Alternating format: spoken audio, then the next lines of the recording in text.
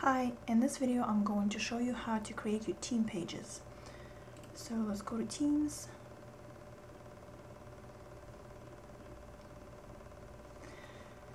Um, in the back end, if you log into Dashboard, we have created um, a custom post type called Teams.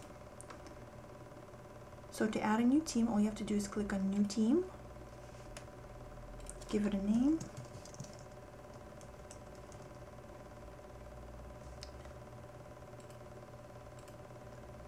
select the featured image.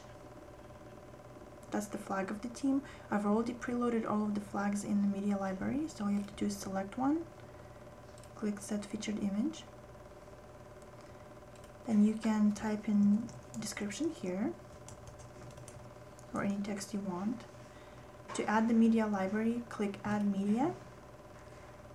Create gallery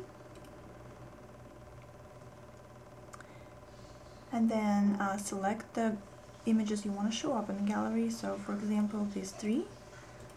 Or you can click upload file and click um, select the images from your computer. Click create new gallery. There it is. And just click insert gallery. There and then you can put more stuff here. Publish and then if we go back here and refresh the page there it is here's your team and I'm clicking on it you will see the gallery here's your description of course you'll have more text here and clicking on the image will take you to the light box. Oops. Guess we'll have to fix that. Let's see if we can do a refresh one more time. Okay, we'll take care of that. Um, that wasn't a problem with the Team USA. Maybe see. This one works. So we'll take care of the other one. Not sure why it's not working. But here's your image. And then you can navigate by clicking on the arrows here and close here. Now this is the um, name of the picture that you gave me. You probably want to name them um, a proper name. Maybe, you know, give it a name of the team or something so people can see what it is.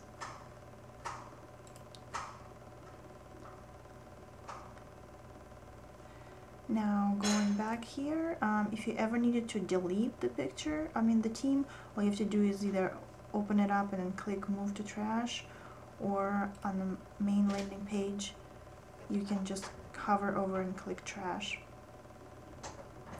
Also, if you ever needed to change the, um, the order of the teams, all you have to do is change the publish date right here. So by default, the system uh, shows the last added entry first.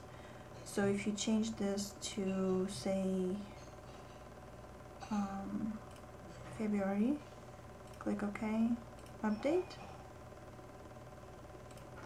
And then if we go to Teams, then it will switch the order of them. And I think that covers the team section.